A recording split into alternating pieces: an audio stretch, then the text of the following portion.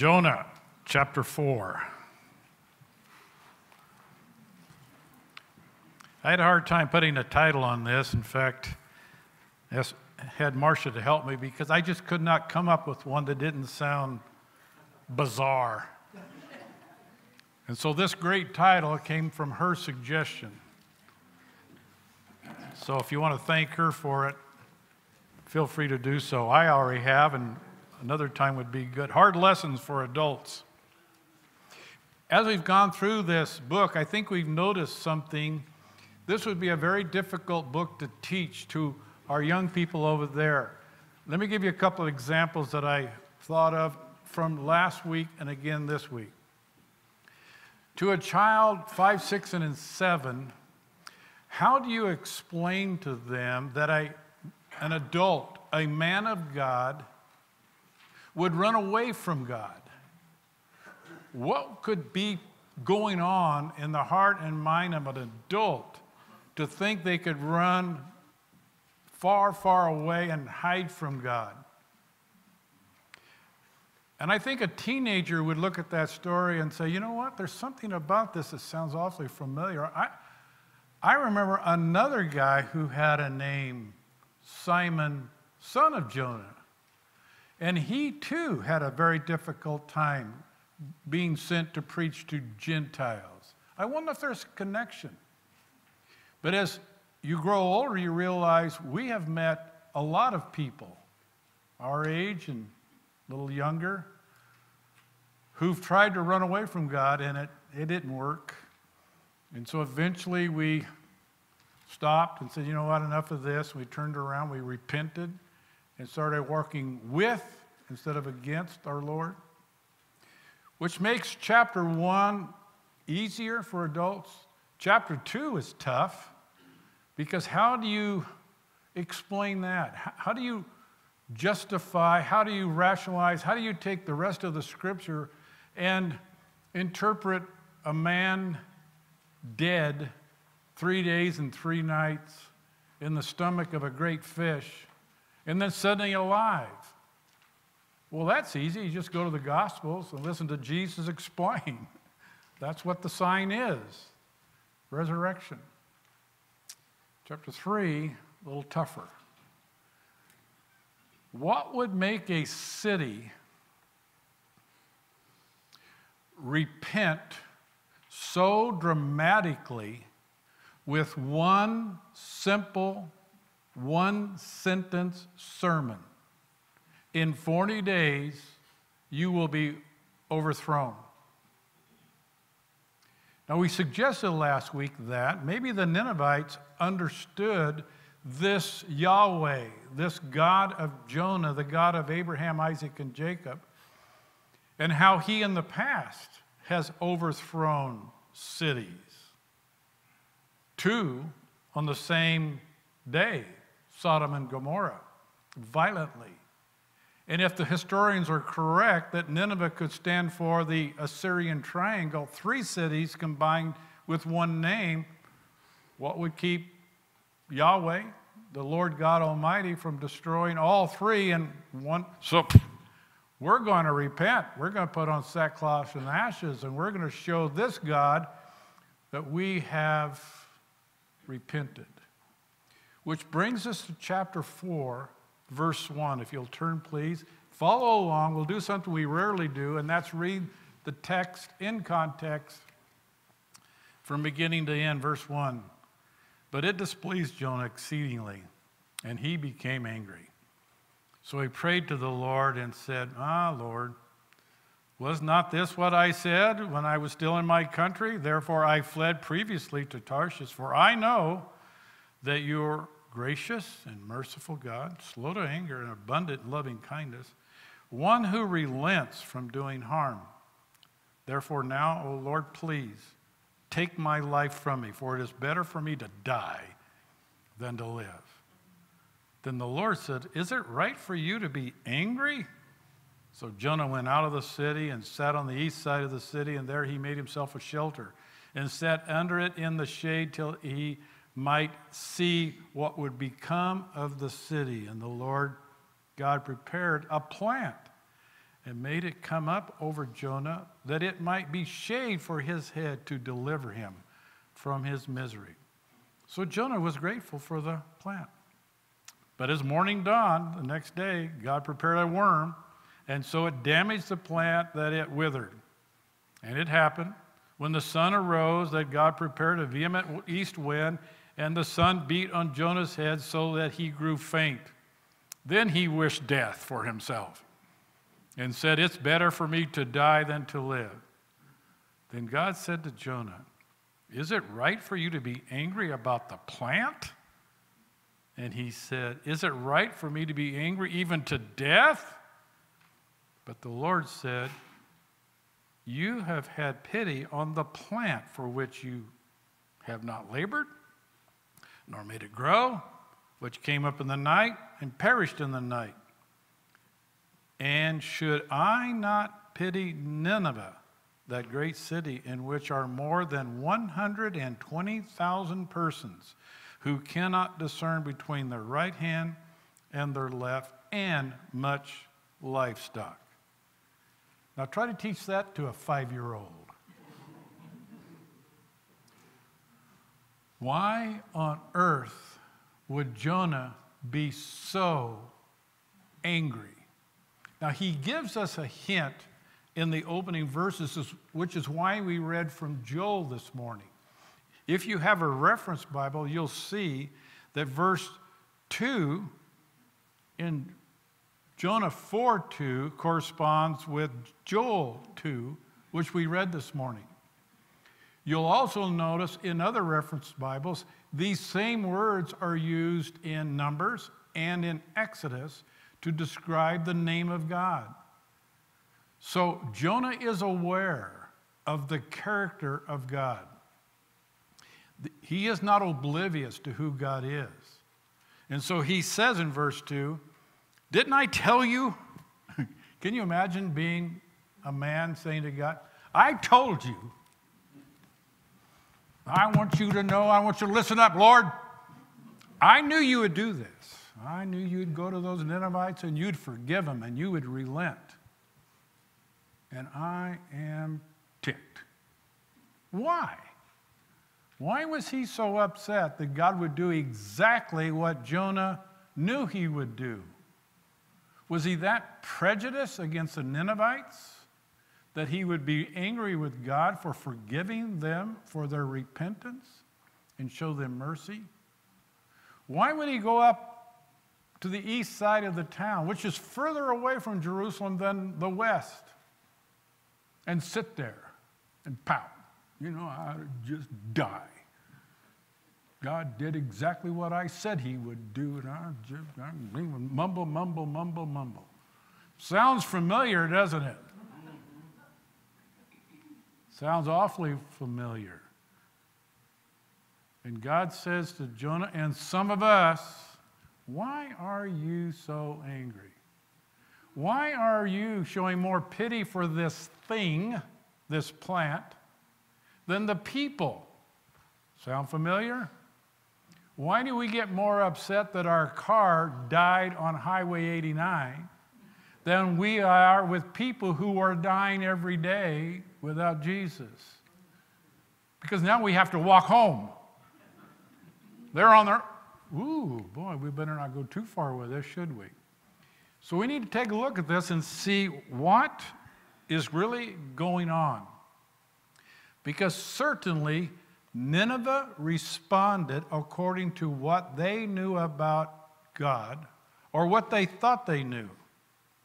I'm going to suggest they repented almost instantly and totally because they knew from the oral transmitting of the acts of God all the way to Nineveh, that he from heaven can destroy a town if he chooses to, and it will be dramatic. Sackcloth and ashes, guys. The whole the king made an edict, a proclamation, a decree. Even put sackcloth on the cows and the sheep and your pets, because we don't want God to kill them either. We don't want him to come down and destroy us and everything around us. So they acted upon what they knew. Jonah did too, in a way. He went and preached, but he did it his way. You have 40 days. Can you imagine standing over there in front of Walgreens? You have 40 days. You have 40 days. Turn or burn. eh, eh, eh. Sir, you need to remove yourself. You're causing a traffic jam here. Why would we say such a thing? Jonah was told to say something like that. He was told to go preach to Nineveh, that God was upset with him, them, that the stench of Nineveh was reaching heaven and they needed to repent or God was going to do something about that. So he just made it very plain. You have 40 days. Now, some scholars think that Jonah went to the east side of the city and he sat in the sun day after day, counting the days. 38, nothing. 39, nothing. 40, we're getting close, nothing. 41, nothing. 42, I'm just going to die. I'm not so sure I think he went to the east side of the city on day one, the same day he preached. I'm not positive, but I think he went up there to see what Nineveh was going to do, not what God was going to do, because he already knew that God would relent. He knew that because Moses told him that in Exodus 34 and again in Numbers. And the prophet Joel had repeated that. So he's not ignorant of the word of God to the world. I am gracious, I am merciful, I am long suffering. Which, by the way, if you missed yesterday, guys, were some of the characteristics of a godly man we wrote on the whiteboard. And we're looking at that list going, there is no way. In fact, a guy said to me this morning, if that, and we had I don't know how many words we had up on that board 30, 40? 30? There's no way. Well, there's only one way, and that's for the transformation of God through His Spirit, that we can become even close to that, being conformed to the image of God. So, not only did we have a really nice breakfast, and by the way, the guys who made that, thank you, but we had a very enlightening conversation about what it means to reveal the characteristics of God to the rest of the world by being loving and forgiving. Which means I need to disconnect the horn in my car. so at least appears to the public that I'm being less anxious about me. But let's look at some of the applications of what we can do here. Here are some possible reasons that Jonah was so angry.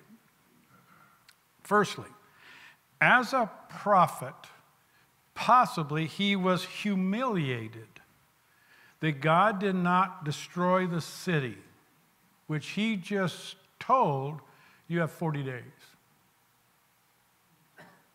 Maybe he went up there to sit and he expected God to destroy him in 40 minutes. And when he didn't, he was embarrassed. Now, some think that's possible because this is not the first time Jonah had been sent to a king to prophesy to him from what the Lord has said. He, in 1 Kings, it's recorded that he was sent to Jeroboam to tell that king who was evil that if he were to change, God will give the boundaries back to Israel. And Jeroboam did repent, so God did what he promised. And then Jeroboam retracted and became one of the most evil kings of Israel. So he'd already gone through it once. And he didn't want that embarrassment again, so think some people. Secondly, it's possible, and some suggest this, that as a Jewish person, as a descendant of Abraham, as a Hebrew, he was ashamed that God would forgive the enemy of Israel. Maybe that's why he went to Tarshish in the first place. I'm not going to those people. They hate my Lord. They hate my country. They hate me. I'm not walking in the midst of them. Well, God changed his mind, right? And maybe he was embarrassed, ashamed. Thirdly, maybe he was embarrassed that God actually forgave them. He said, You have 40 days or you're going to be overthrown. Maybe. He was feeling really low because he said one thing and God did the other. And deep down, he knew God was capable of that. I'm looking out over my friends and your faces, and I'm thinking, how many times have we prayed for something and when God didn't do it our way, we went, okay, I'll ask again, God. And he doesn't do it our way the second. Okay, I will be persistent and I will ask again. Lord, Art thou going to destroy us? We even change our vocabulary a bit, huh? Thinking this might get his attention. And we become somewhat ashamed that his ways are not our ways. And he is saying to us in that quiet voice of his, You trust me? Yes. Then trust me. Okay. But, no, there are no buts. I know this sounds familiar because I've had some conversations with some of you across the table next door. There's some of us so upset with what's going on, we would like a little vengeance. Am I getting close? We like a few things to happen.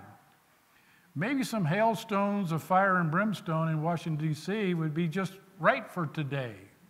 Don't say amen because God's ways are not our ways. So we have to be patient because He is patient. We need to be long suffering because He is. I'm beginning to think, friends, that too many of us in this room have been praying for patience lately. Ring a bell? And God's saying to us, You want patience? Yes, I think I do. You're patient, and so I want it to. Okay, let's see. Too many of you are praying to be more loving. Oh, you want to be more loving? Well, let's see. So God's putting in our path people for, for whom we have no patience and the most unlovable people you can imagine going through all those things on that silly highway. Don't anybody know how to drive anymore? And God's saying, Nolan, you asked to be patient. There you go. Fourthly, perhaps he was resentful that God actually would pardon sinners. Now, this is why I entitled this For Adults Only. A youngster wouldn't comprehend this attitude that some of us have, and we need to be sorry for and repentful for. I think some of us, I'm not going to mention any names, but I'd be on this list, grow a little bit upset with God because how dare he forgive that person? That person doesn't deserve forgiveness.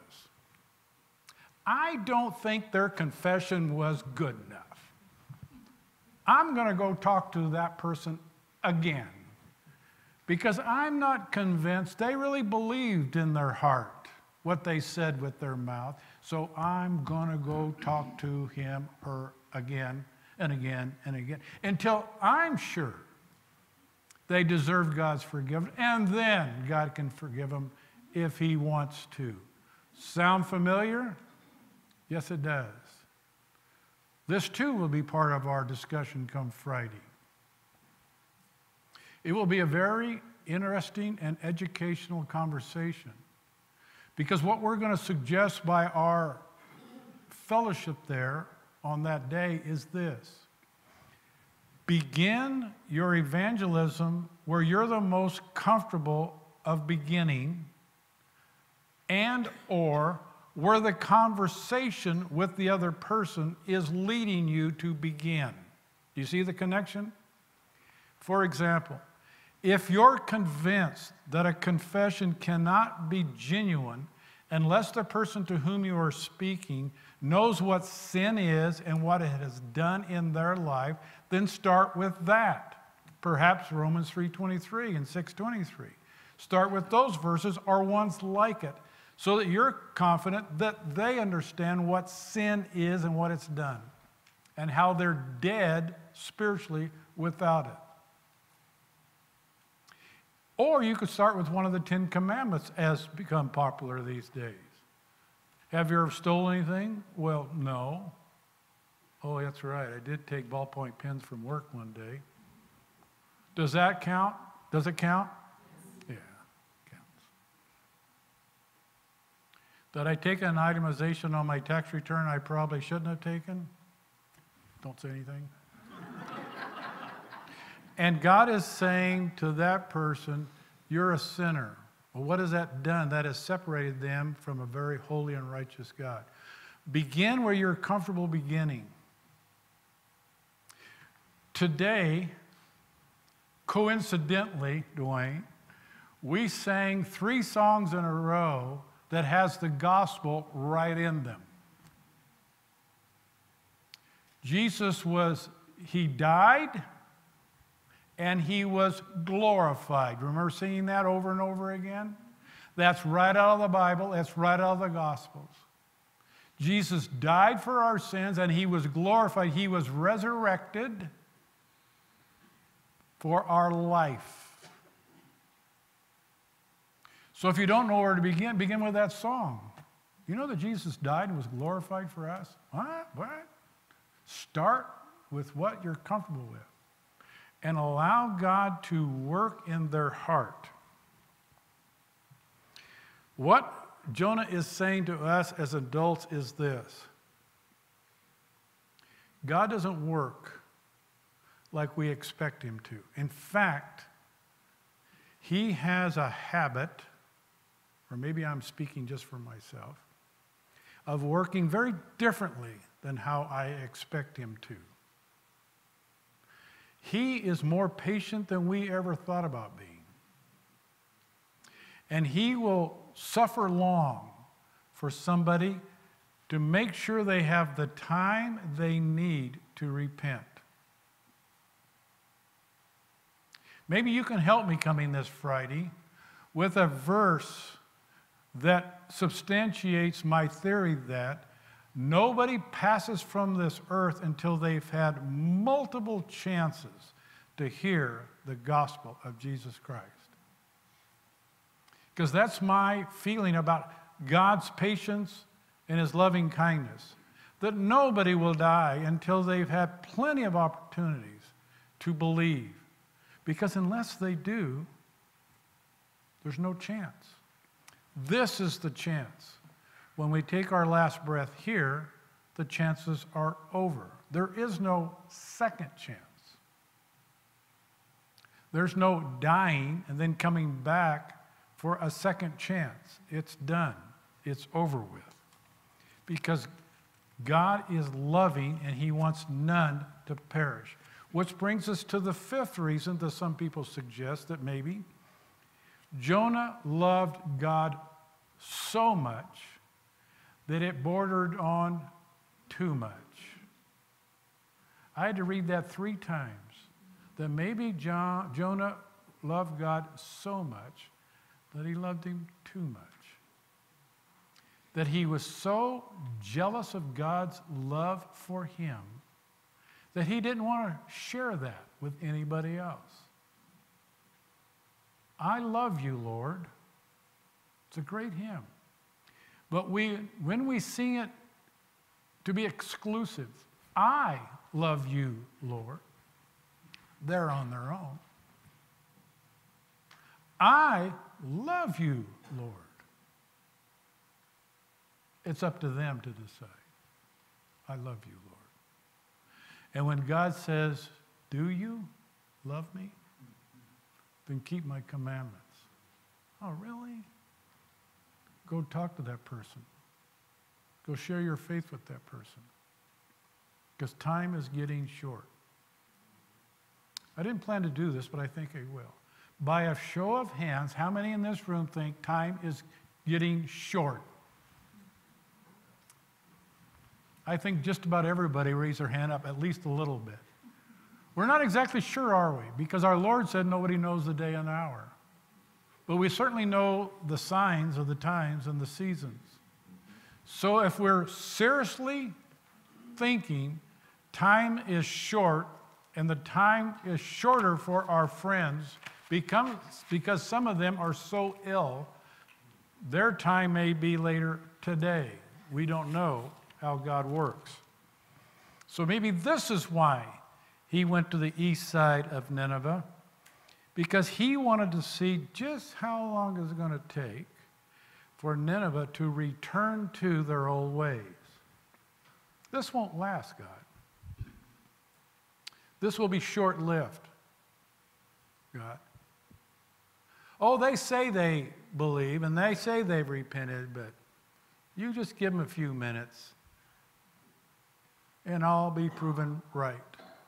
They didn't deserve your mercy because they were lying to you. All their actions were very serious. I mean, they did put on sackcloth, they did sit in ashes and throw dust on their hair. Yeah, I know what they did, but it's not real. You just wait a little longer, Lord God, and they will prove themselves to be unrepentful. And maybe that's why he got mad.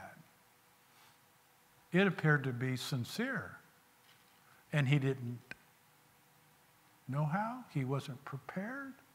He wasn't prepared to handle that his enemy, the Ninevites, would actually listen to him and heed the call of God to repent.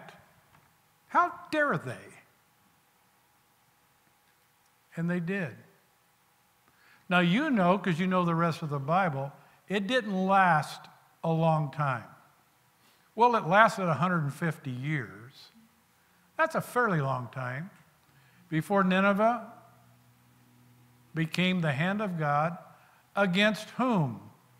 Israel. Now, there's an irony. Jonah, an Israelite, goes to Nineveh, preaches, they repent, and God says, okay, that's good. They go back to their old ways eventually. Meanwhile, the Israelites over here are doing what they do time and time again. They're worshiping false gods. Okay, says God, I'll bring these people over here and I'll punish them with those. Explain that to a five year old brain. Mean God would do that? Well, clearly He did. Which suggests what? That's a very good reason for you to witness very sincerely to somebody you really don't like. Because it may be them that God uses to come to you when you're having a very dark day and say to you, Don't you remember what you told me? What? That God loves me. Did he stop loving you? No. Well, then what's your problem?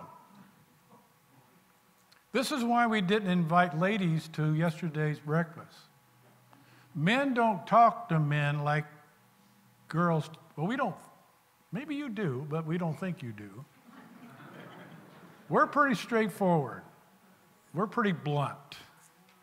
And sometimes this gets us in trouble, but most of the times it gets us out of trouble. For example, ladies, I'm going to tell you something you think you know, but it's true. Two men can be at odds with each other. I mean, at odds with each other, on the verge of fisticuffs. And all of a sudden, these two guys can realize, and they can say to the other, Are we good? We're good. It's done. And your ladies are going, wait just a minute, it's not done yet. because they haven't proven that they're really sorry. Am I stepping any toes, gals? I've heard this more than once. A couple could be having some trouble, and the guy can say to me in front of his wife, I said I was sorry. And she says, What? Not yet. Now he misinterprets that. He thinks she means, You're not sorry because I haven't made you miserable enough to be really sorry. That's not what she meant, did she, ladies? No. What she meant by that was, You have said this before. Show me that you're sorry. And that's what we expect of others in a general relationship. This is what we accept, expect from God. God, show me that you love me. And guess what? He did. He loved us so much, he sent his son to pay the very high price of our sins.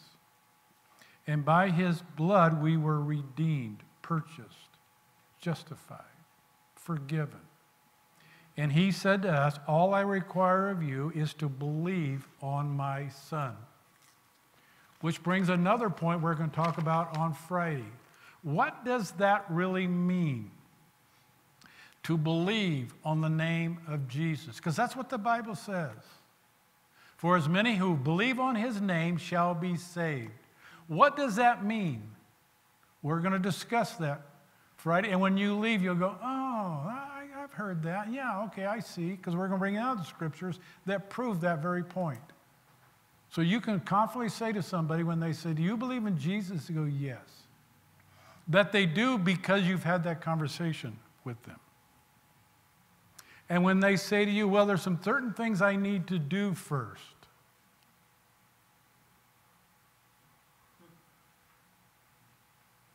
There's certain things I need to do first. Now, you need to think very carefully on how you say, like what? Don't use my method, use yours. Like what? What are these things that are so urgent that you can't confess Jesus right now? Well, I need to what? Well, I read this book which says there's three steps. I need to do those three. Okay. What does the Bible say? How many steps are there in the Bible? Well, this other book said there's seven. This other book said there was 22. Okay, I'll tell you what.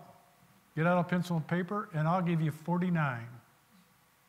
And the fifth one is the one I want you to do believe on Jesus Christ because he's the one who came to show you how much God loves.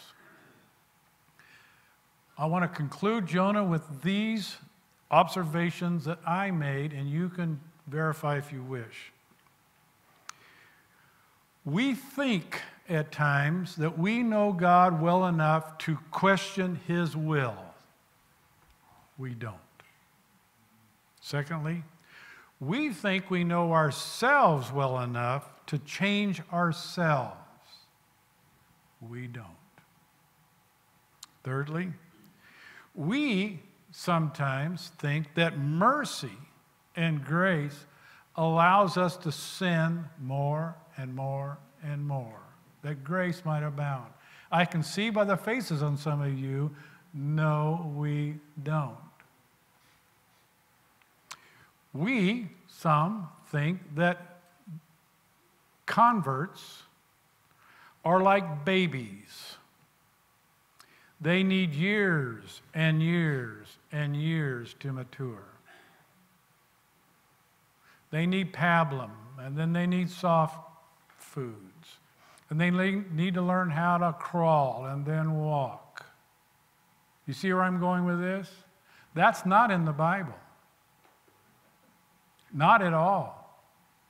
Paul preached in the town of Ephesus two years. And before he left, he had Timothy appoint elders in the city of Ephesus. Two years. In essence, he's saying to the guys there, grow up. take charge, be a leader, study the Word of God, know the Word of God, quote the Word of God, be in charge, take responsibility.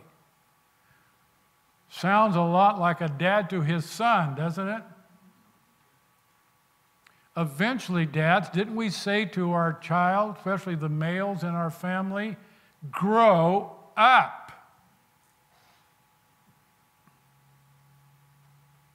Yeah, I know they're 40. now, we didn't say that to them when they were four months old. You know, you could help your mom out if you changed your own diaper. But eventually we said to our child, it's time to be a man. Now, some of us were raised on farms where I, that came very young, did it not? We weren't given to age 13, 14, 15 to grow up. We were given to age about six, seven, or eight when we were behind a wheel on a tractor. Now, I wasn't raised around horses, but some of you were. How young were you when you put on horseback the first time? Were you 13? I don't think so. So God is saying to the men that belong to the church, you don't need decades to grow up. You need minutes, seconds even. You need as long as it takes to say to God Almighty, I recognize that I've been filled by your Holy Spirit Change me, O God. Conform me to your Son. You've given me a new heart. Change my mind. That was number three on our list. Number one was love God. We're talking about the characteristics of a godly man. Number two was fear God. And number three was follow the Holy Spirit. That's how long it takes, gentlemen, to grow up, to be mature, to be a leader at home, at work, in this church, or wherever God sends you to be. Fifthly, Jonah was not prepared for what God was going to do. So Jonah is saying to us, by virtue of his lifestyle, be prepared for the unexpected when it comes to God. Remember when I asked you how many thought times were short and we ought to get busy? Well, what if it's another thousand years? Are we going to stomp around? Well, I thought you were going to destroy him in 2024. I'm, I'm just going to die. Can't take any more of this. What's that flag doing on our Capitol building in Washington, D.C.? I'm going to stomp around and I'm going, see what I mean? expect God to do the unexpected, for his ways are not our ways. How far above our ways are his? Way up there. Sixthly, some people expect God to be patient until we get around to obeying him. Some think we are to be imploring of God's long suffering until we get around to serving Him.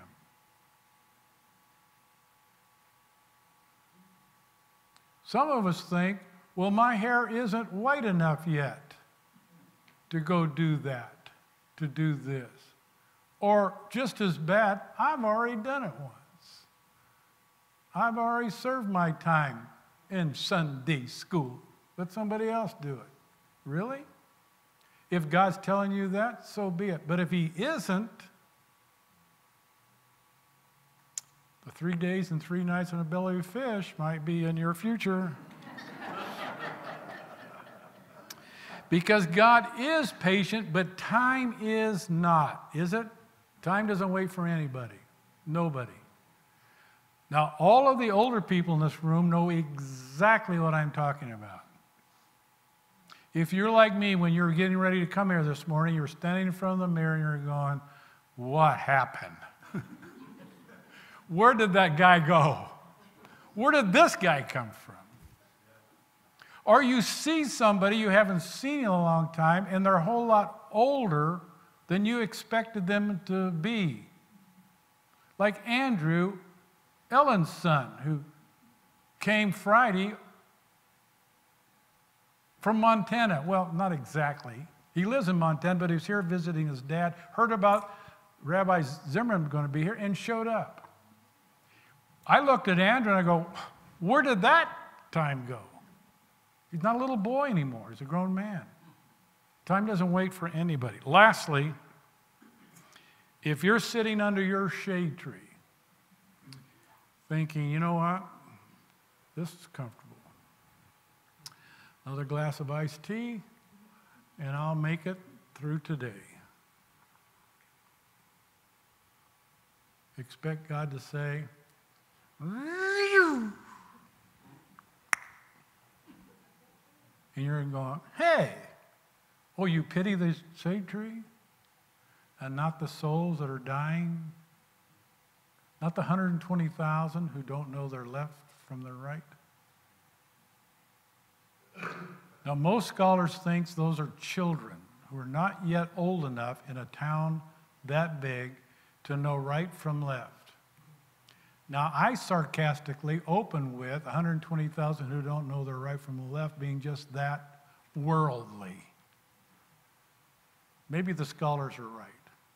But there's a lot of people out there who will not see tomorrow who need to know Jesus today. You may meet one of those at the restaurant this afternoon. Be generous, be gracious, be humble in the sight of the Lord, and let Him lift you up. Amen.